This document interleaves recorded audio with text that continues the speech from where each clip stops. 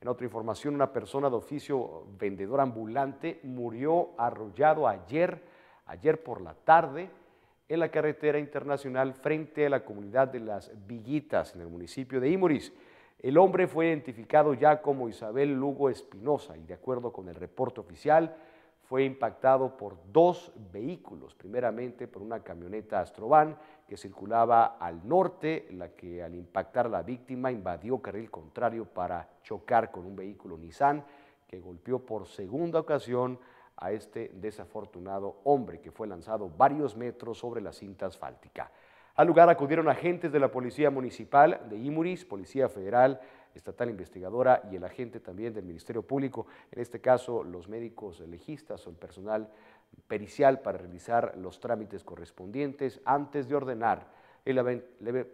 levantamiento perdón usted, del cuerpo que fue trasladado a la funeraria en turno allá en Magdalena de Quino.